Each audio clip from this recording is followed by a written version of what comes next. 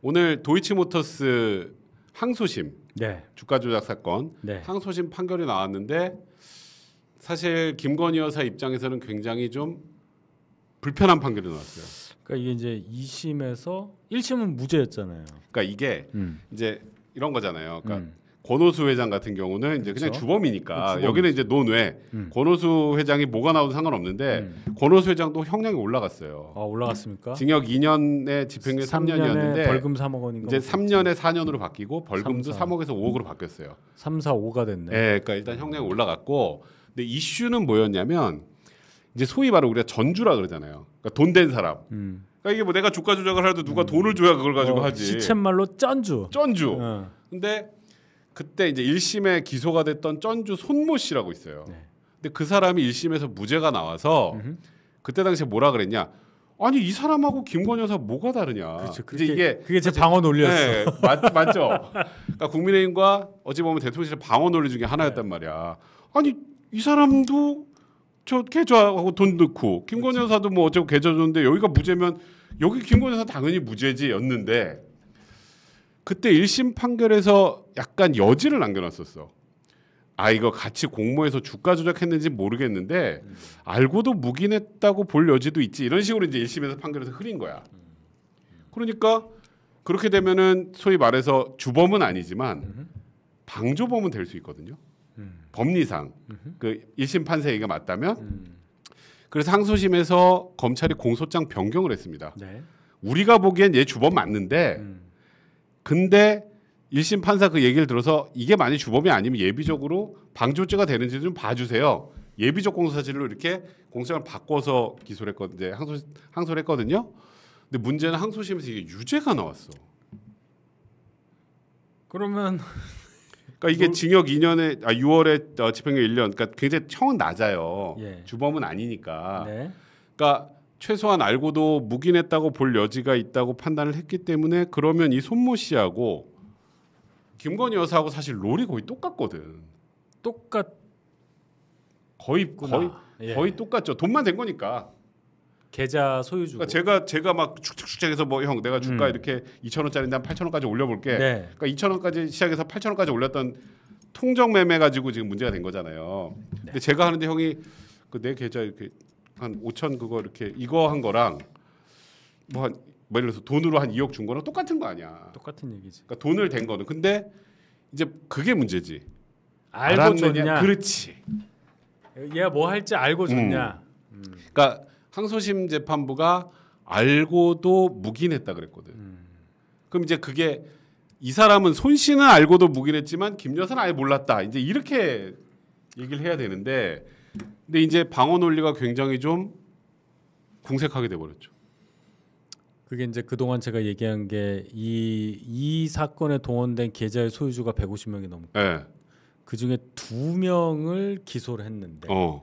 두 명이 무죄가 났고 그 중에 하나가 손모 씨인데 네. 이 손모 씨가 2심에서는 방조로 예. 유죄가 났다. 그렇죠. 공부 좀 해야 되겠는데요. 그러니까 이거를 뭐 보통 우리가 이제 이 김건희 여사 관련해서 이제 민주당에서 특검 얘기하고 검찰의 수사 촉구하는 거 얘기가 나올 때 보통 두 가지 예를 들었거든요. 이유, 이유를 야 문정부에서 그렇게 탈탈 털었는데 그렇지 탈탈이 거기서 나오죠. 우리도. 어, 탈탈 털었는데 그래도 기소를 못했던 거를 지금 하는 건 정치 공세 아니냐 억지 아니냐 요구하고 야 그거 걔죠 저거 걔 손모 걔도 무죄인데 여기가 무죄가 나왔는데 그건 여기가 뭐 어떻게 그럼 이게 말이 되느냐 요 두 가지였는데 두 번째가 지금 어쨌건 항소심에서 무너져 버렸기 때문에 이거는 사실 요즘 최근에 이제 김건희 여사에 관련된 비판적인 얘기들이 많이 나오잖아요. 마포대교부터 뭐 지금 장난 아닙니다 오늘. 아 그러니까 제가 형님. 오늘 여섯 번째 방송인데요. 아 그냥 제가 샌드백 됐어요 오늘. 네. 아 근데 그 뭐 마포대교 그 이제 자살 많이 하는 거 곳에 그 이제 그 가드 같은 거 제대로 돼 있는지 그런 거 보러 뭐 가신 것 같은데 근데 이제 뭐 제가 무슨 뭐 여, 저희가 무슨 뭐 야권 방송에 무조건 김건희에서 비판은 하려고 하는 건 아니지만 얼마 전에 일단 명품백 관련해서도 결국 수사 심의에서 이제 불기소 공고가 나오긴 했지만 적절한 건 아니었잖아요. 근데 그 상황에서 갑자기 이렇게 현장 행보하는데 그 와중에 도이치모터스 판결 나오니까 이게 지금 의료 문제 해결하기도 바쁜데 다시 또 김건희 여사가 돼버렸어 이슈가. 네. 제가 갑자기 장수 성철형이 된다 이게 지금. 아 이거 언제 끝나나? 그러니까 이거 어, 이게 사실 어떻게 해야 돼요 이게? 일단 음. 어, 이 이심 관련해서 이걸 얘기할 수밖에 없습니다. 검찰에서 음. 김건희 여사에 대해서는 기소를 할 건지 말 건지 네. 그것부터 빨리 정해라. 이제 이제는 더 이상 못 미룬다. 새로 그렇지. 검찰총장도 예, 바뀌니 예, 어. 요거는 어 뭐라도 결론을 내리고 가야 한다는 말을 우선 제가 했어요. 예, 결론을 이거는 내리고 뭐 아. 여야를 음, 떠나서 음, 음. 이거 지금 몇 년째 이거 뭉개서 오해만 더 쌓이는 거 아니냐. 그 그런 게 많아요. 네. 사실 김건희 여사 관련해서 그게 되게 어, 많아. 그러니까 일단 요거는 많이 너무 지났고 이게 시점이 2010년 11년 아니야. 2009년에서 2012년까지니까 뭐- 딱. 어. 그 근데 공소 아니고 네, 그렇죠. 뭐 다 빠졌지만 어. 그러니까 이거는 정말 결론을 내려야 한다. 그러니까 저도 그러니까 뭐 특검을 하자 이런 거보다 음. 그러니까 검찰에서 뭐 이게 기소면 기소, 불기소면 불기소. 그럼 불기소라면 이유가 나오겠지. 그렇지. 그러고 보고 이제 또 판단을 해. 그게 뭐가 나와야 되는데 아무 그게 가만히 이렇게 어. 뭐 그래서 무혐의라는 거야. 아니 뭐, 그러니까 뭐, 아무것도 뭐야. 안 하니까. 어, 그럼 안 돼. 안 돼요. 이제 그럴 그러니까- 상황이 아닌 것 같아. 그러니까 이제는 김건희 여사 관련해서는 검찰에서 일차적으로 어떤 방식으로 결론을 내줘야 된다. 내줘야 된다. 그리고 형 그 아까 조금 전에 말했던 그 마포대교 현장에 간 건 그건 어떻게 생각하세요? 가시는 건 아무 문제가 어, 없어요. 음. 당연히 가셔야 하는 거고 대통령 윤 대통령의 독신도 아니고 엄연히 그렇지. 대통령 어. 배우자라는 저도 자리가. 있는데 어, 어. 가야 되는데 예.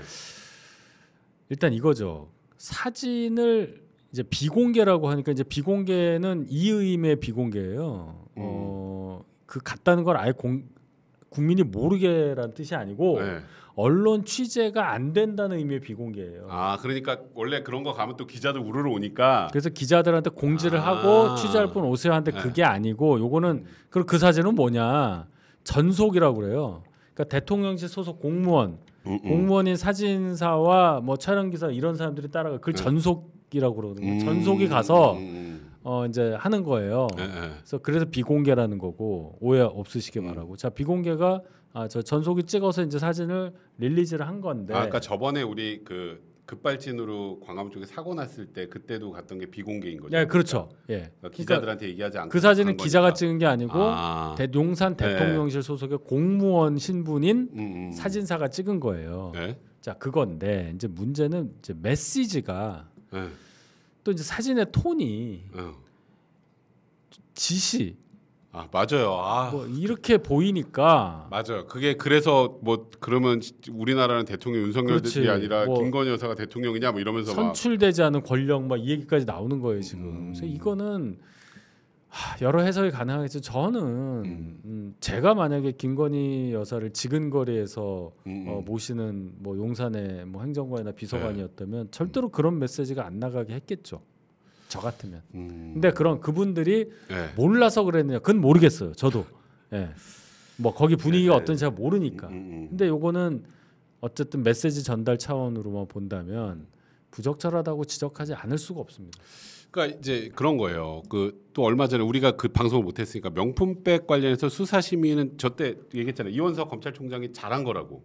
네, 그렇죠. 예, 그리고 잘했고 제가 예상한 대로 결과가 당연히 그거는 네, 네, 네. 나왔어요. 예, 예. 근데 그게 나왔다고 해서 아 이제 이거는 무고하고 아무 잘못 없어는 아닌데. 그건 아니죠. 예, 그러니까 사실 그때도 뭐 최주 변호사가 뭐 대리 사과를 했다더니 그런 논란도 막 있었잖아요.